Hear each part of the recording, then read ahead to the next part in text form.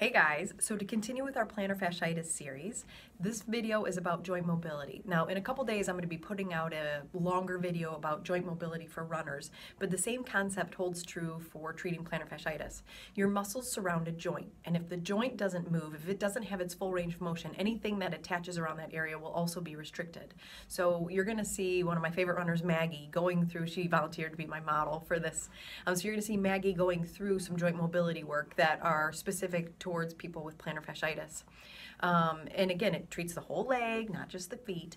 Um, so what's going to follow is you'll see Maggie go through it. I'm going to instruct you guys to do about three to five to each side. If you want to do more, you can, that's great. And I would recommend doing it three times a week.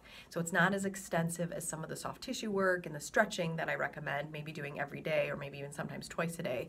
Um, but this is specific to three times a week. Again, if you love it and you want to do more, totally fine with me.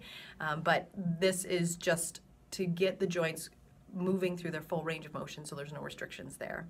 Um, again, I'll put out a bigger video later this weekend for runners and it would apply to you guys too.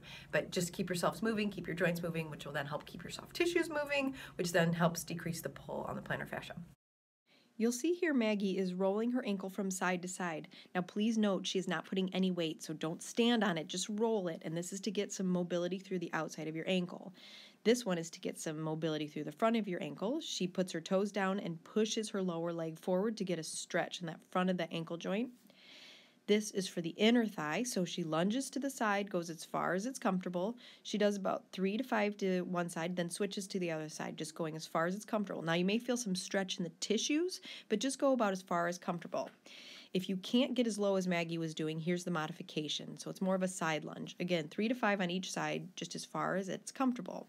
For the front of the hip, um, you bring one leg forward, your hands inside your feet, and then you move your tush up and down, and you switch sides.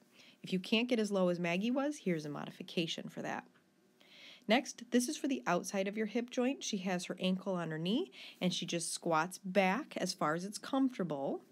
Um, this one is for the inside and the outside of your hip joint. And so you're just rolling side to side while you're sitting on the ground. She doesn't have any pain um, in her knee. We always make sure that's not bothering you. And you just rotate from side to side, about three to five to each side. And finally, to make sure we get that low back as well and the side of your hips, um, bending from one side to the other. So if you need anything in the meantime, let me know. But otherwise, I'll see you in a couple days where we're going to be talking about some other self-care options such as um, an ice cup massage and a water bottle massage, um, Strassburg sock, splinting. We're going to talk about that in the next video. So see you guys soon.